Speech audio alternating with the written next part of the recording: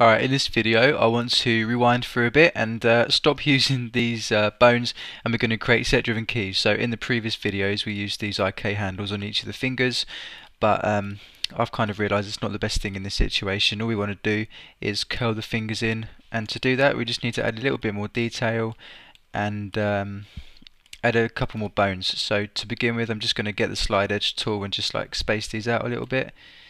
Um, so double click the loop and just like middle mouse drag.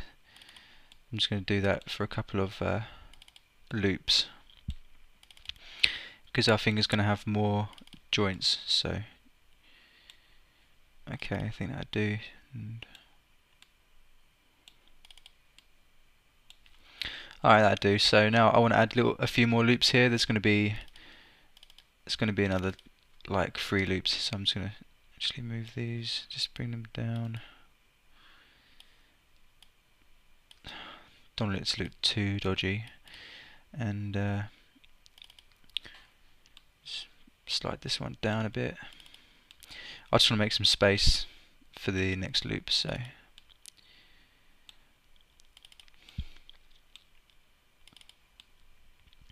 So in this video I'll probably just prepare the model in the next one we'll do the set driven keys Sorry guys, I know we've been on this arm for quite a while.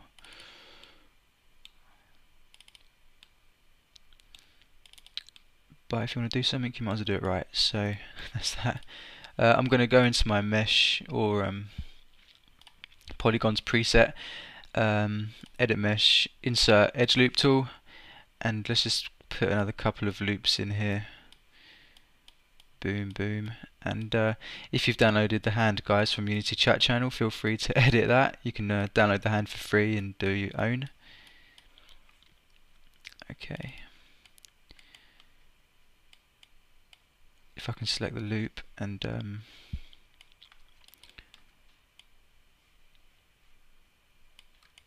slide edge tool, that's the one.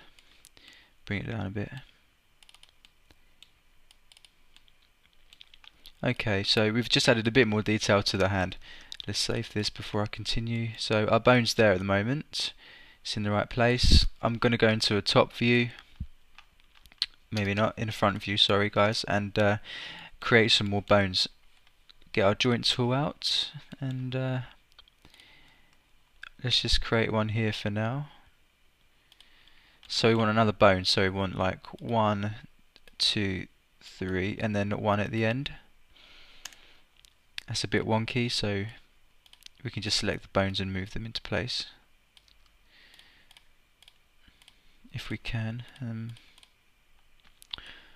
don't select the mesh the bones. I've been in my own a couple of days guys sorry. And so just line them up for a bit and this one can be outside the finger actually and okay I think that'll work out pretty well and all we need to do now is exactly the same for the other fingers. So one you can see the loops easier in this one.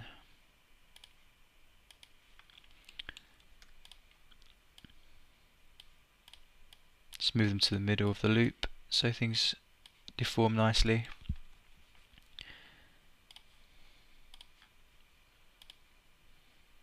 Okay one there one there and that is really wonky so let's just uh, straighten these out a bit.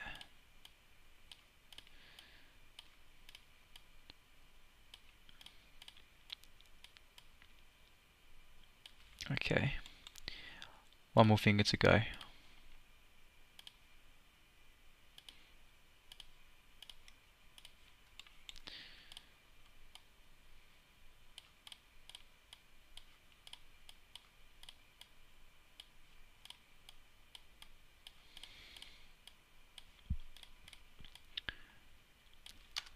Okay, so let's have a look, see where they are. Bit wonky, so I'm just going to grab. And for some reason that one got created over there. Delete, can do that again. Um, Alright, let's just do these three, three fingers now, so...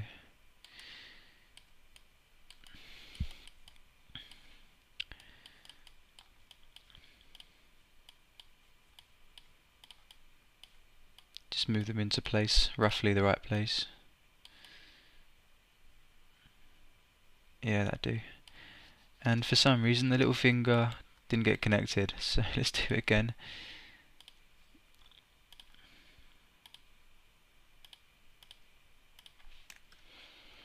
Okay, it's connected now.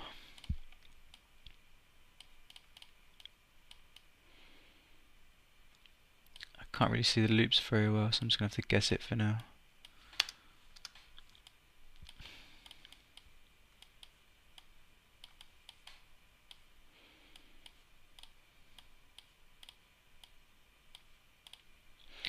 Alright, cool, that's alright. Let's move this in a bit.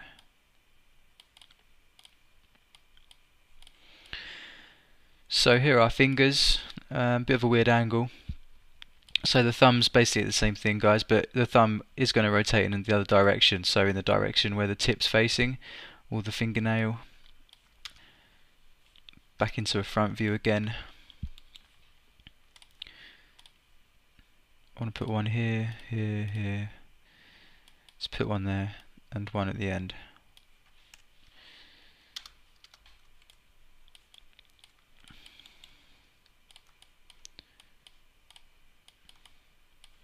Move them into place a little bit.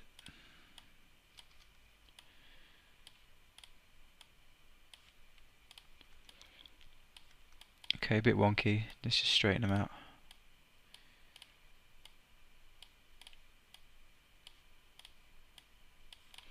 Okay, it's pretty straight. That's good. I think that'll work. So here are bones. So we've got more geometry to play with and we've got more bones. Alright guys, so I'm just going to save this. The next thing we need to do is test the rotation. So to test the rotation, we can select the topmost joint of our um, or the joint we want to test basically. The finger go to your window your outliner and press F to find the joint. So all we need to do is expand all these to the bottom joint and select all of them like this. So make sure the topmost joint selected. Just hold shift and press the top joint and rotate it. So with all of the bones selected they'll all rotate and curl in. And that's what we'll be using to rotate the fingers. So just as an example let's find this one. Expand all the little finger ones. Select them select the topmost joint and frame up. When we curl they'll curl inwards like that Alright guys, simple as that. So the in the next video we'll be using a set driven key to curl these in.